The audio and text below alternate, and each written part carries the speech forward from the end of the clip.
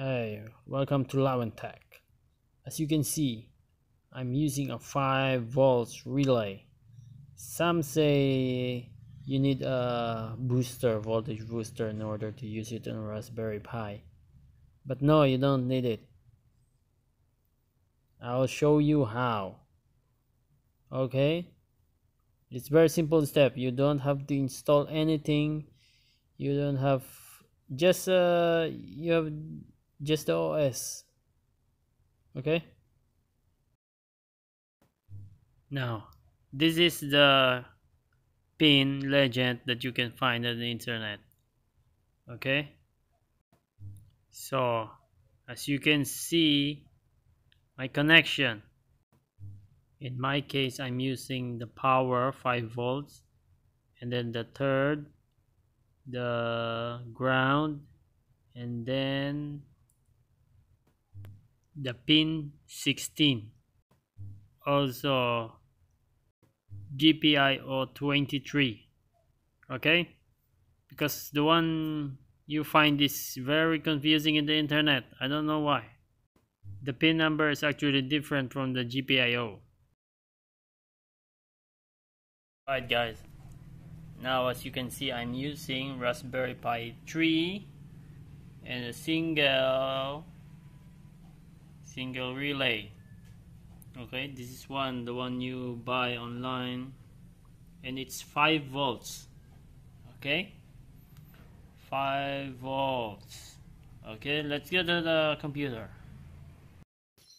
In my case the first one is the trigger the second is the positive and the third is the negative. So you most uh, they have uh, most of the chip most of the relay has a legend. So look at the back. Mine has. Okay be sure.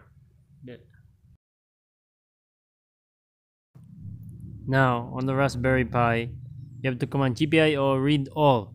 It will display all of this. This is the status of all the pin and uh, all the pin.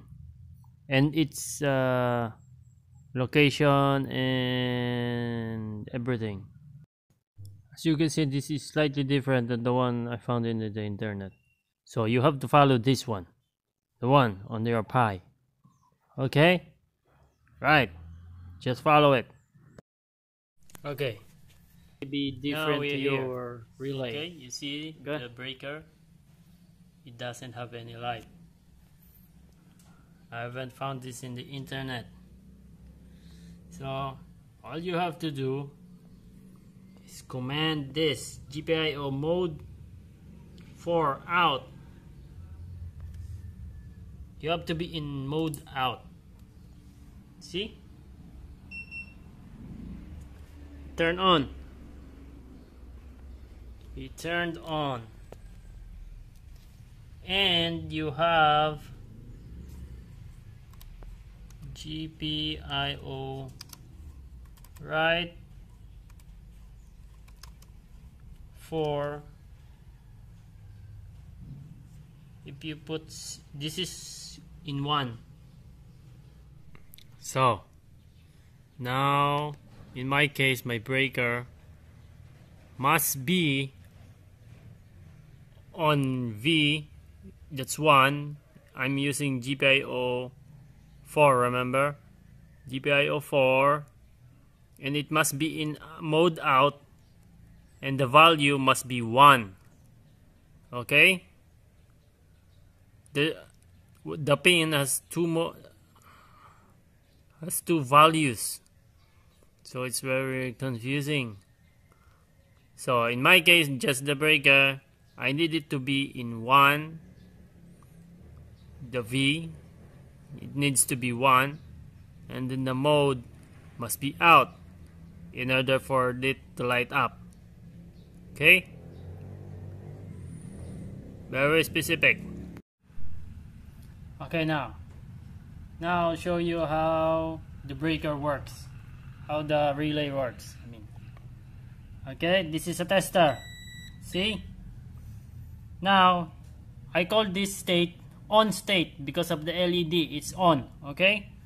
So this this what happened. This is these two is connected these two not connected. I call this okay one two three. Okay 2 and 3 is connected.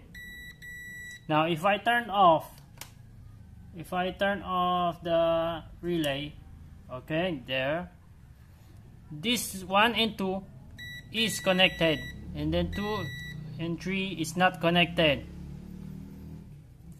Okay? Understand? I'll turn it on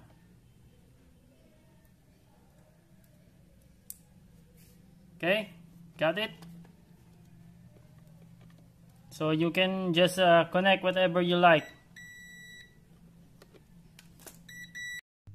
Okay I'll show you the program I use in Android. This is the most easiest I can it's called RAPS Connect. Okay let's connect it the RAPS controller. All you have to do is add the device to it put the IP address and it will control the GPIO very easily. See? Yeah that's GPIO control.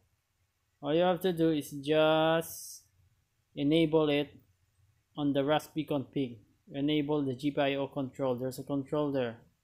You see if I turn it off it's turn on turn on turn off. Okay remember my breaker will turn on if it's in mode out and the value is 1 that's the only way it is connected. Okay? Please subscribe to my channel for more